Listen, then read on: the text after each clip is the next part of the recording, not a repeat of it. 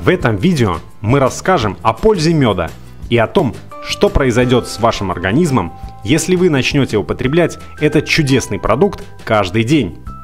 Как улучшится ваше здоровье и самочувствие. А также порекомендуем, как и в каком количестве лучше его употреблять. Хотелось бы отметить, что автор данного видео сам ест мед каждый день уже 6 лет подряд. И за это время ни разу не болел и не выпил ни одной таблетки. Возможно, это именно благодаря иммуностимулирующим свойствам меда. Итак, мед издавна признан одним из полезнейших для организма человека продуктов. Высокое содержание необходимых ферментов и способность натурального меда замедлять процессы старения даровали ему звание суперфуда. Не зря же он был обязательным элементом рациона наших предков. Бортничество, то есть сбор меда диких пчел, было популярно еще с времен первобытности. О целительных качествах меда было известно еще в Древнем Египте. И современная наука доказывает, что каждая капля меда содержит более 70 весьма важных для здоровья человека веществ. Углеводы, которые в нем присутствуют, по сравнению с обычным сахаром, намного легче усваиваются организмом человека. Ферменты, которые входят в состав меда, стимулируют пищеварительные процессы и улучшают обмен веществ.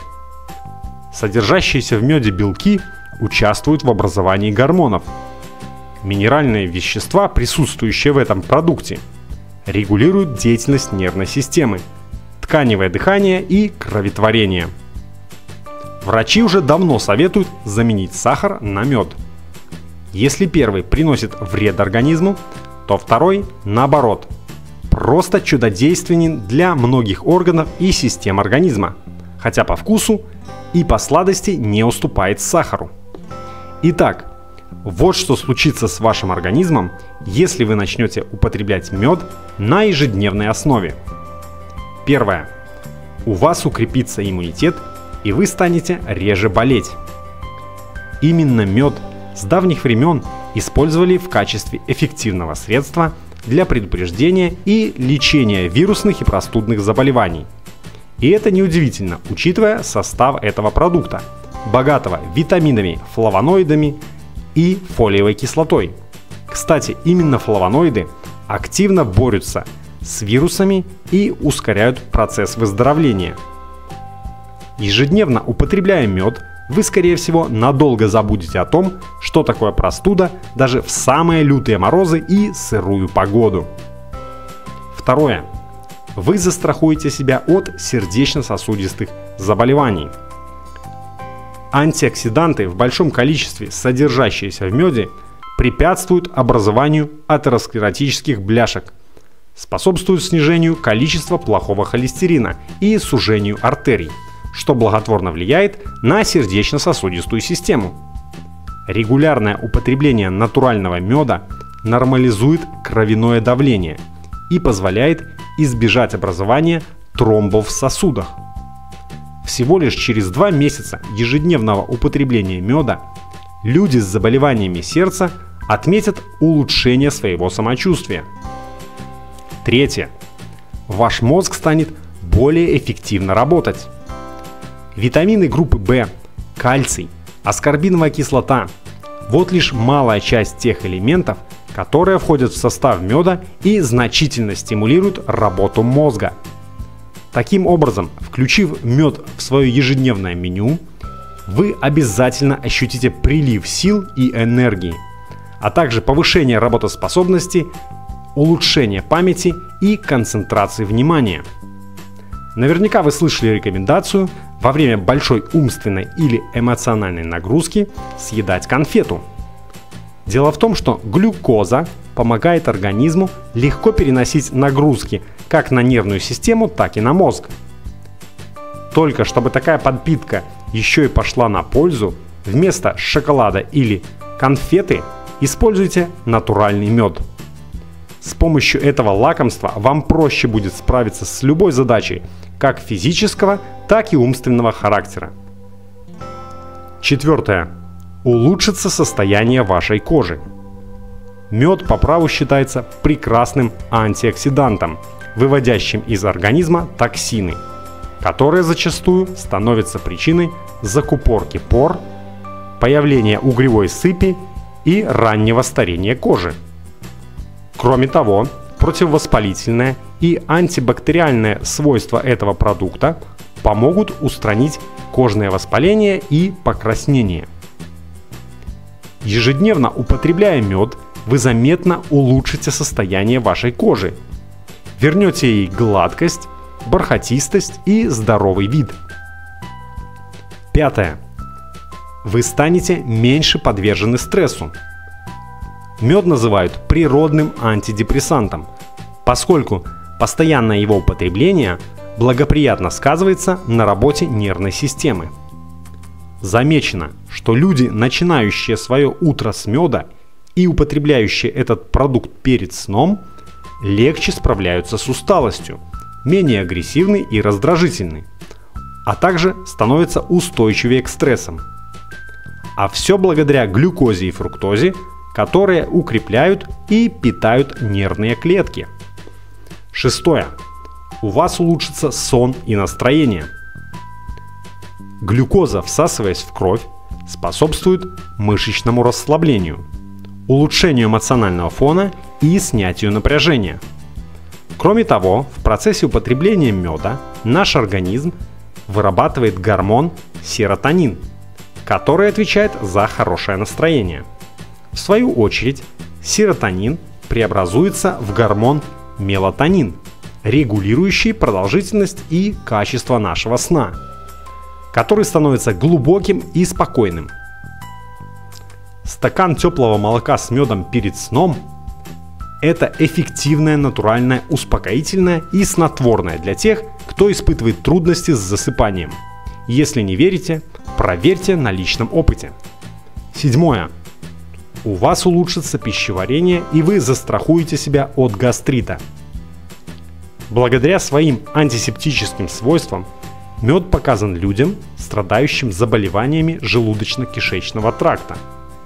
Дело в том, что мед, проходя по пищеварительному тракту, не только нейтрализует вредоносные микробы, но и заживляет небольшие раны, расположенные на слизистой оболочке, как желудка, так и двенадцатиперстной кишки – также мед нормализует пищеварение и в короткие сроки восстанавливает полезную микрофлору, поскольку является природным пробиотиком, в состав которого входят лактобациллы и бифидобактерии. Итак, сколько же меда можно есть в день? Пчеловоды и яростные почитатели меда говорят о том, что в сутки можно употреблять порядка 150 грамм этого продукта – в свою очередь, официальная медицина придерживается немного другого мнения. Врачи выделяют следующие суточные нормы потребления меда. Взрослым 50 грамм. Это приблизительно 2-3 столовые ложки в сутки. Детям и подросткам до 2 чайных ложек. Пожилым людям до 2 столовых ложек в день. Кроме того, указанную норму меда следует разбить на несколько приемов. Но и это еще не все. Если вы хотите получить от употребления меда максимум пользы, следует придерживаться еще данных нехитрых рекомендаций. Первое. Не употребляйте натощак мед в чистом виде, не разбавив его с водой, чаем или чем-то другим. Особенно если в ближайшие полчаса не планируете завтракать, обедать или ужинать. Следствием игнорирования этого правила станет чрезмерная выработка инсулина и излишняя нагрузка на вашу поджелудочную железу. Второе. Не кладите мед в горячую воду или кашу. Помните о том, что температура, превышающая 45 градусов Цельсия, разрушают многие полезные соединения этого продукта. Мало того, при нагревании меда свыше 60 градусов он начинает выделять еще и токсичное вещество под названием 5-оксиметилфурфурол. И в этом случае речь уже будет идти не о пользе, а о вреде меда. Третье. Не храните мед на свету или в теплом месте. В таких условиях этот замечательный чудодейственный продукт также теряет свои целебные свойства. Лучшее место для хранения меда – это кухонный шкаф или холодильник. Самой же простой формой употребления меда будет просто замена им сахара. Только единственное отличие заключается в том, что мед нужно добавлять уже в готовое блюдо после остывания, а не во время варки, как сахар. Это все по тем же причинам, так как при высоких температурах мед из полезного продукта превращается в вредный. То есть, если, например, готовите кашу или молочный суп, то во время варки игнорируете сахар, но в уже остывшее блюдо добавляйте немного меда прямо в тарелку и размешивайте. Или при приготовлении блинов также не добавляйте сахар в тесто, а едите готовые блины с медом в прикуску. И особо не заморачивайтесь на нормах употребления этого полезного продукта. Как это делает, например, автор данного видео. Он часто значительно превышает заветных 50 грамм в сутки, но при этом не имеет никаких проблем со здоровьем. Как в принципе и большинство пчеловодов, многие из которых едят мед в больших количествах долгие годы. Однако хотелось бы обратить внимание на то, что чтобы действительно получить пользу от этого замечательного продукта, нужно употреблять только стопроцентный натуральный мед. Если же вы будете использовать мед из магазина, то скорее нанесете вред своему организму, так как чаще всего представленный в гипермаркетах продукт является подделкой на основе все того же вредного сахара – Поэтому серьезно отнеситесь к покупке меда. Не ленитесь найти надежного продавца. Желательно даже поехать к нему на пасеку и там по сезону закупиться натуральным живым медом. А что касается способов проверки этого продукта на натуральность, то они очень ненадежны и в своем большинстве вообще неадекватны. Поэтому стоит побольше внимания уделить именно выбору производителя, чтобы на себе ощутить все те улучшения в состоянии здоровья и самочувствия от ежедневного употребления этого продукта, которые мы описали выше. Но на этом у нас все. Если вы впредь желаете знакомиться с подобными видео, которые помогут вам сохранить и укрепить здоровье, подписывайтесь на наш канал.